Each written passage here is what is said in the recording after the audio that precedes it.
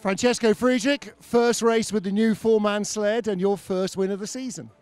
Yeah, it was a, a, good run today. Uh, the first, the second was not so good, but a really good push from these three guys, and so we are happy with this result today. And yeah, we hope tomorrow the weather is a little bit better.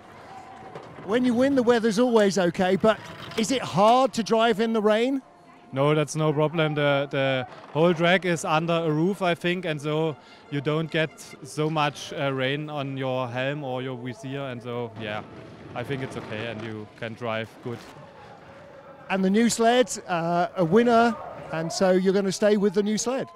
Yeah, we, we did a great job with the FES boys, and tomorrow we drive our old Wallner sled, and so we can see what's happened with uh, when we yeah with the other times, and so we want to see what how good the FES sled is or not. We yeah, but we think it's first good step in four-man, and so we can yeah make some more steps in near to the Olympic Games, I think.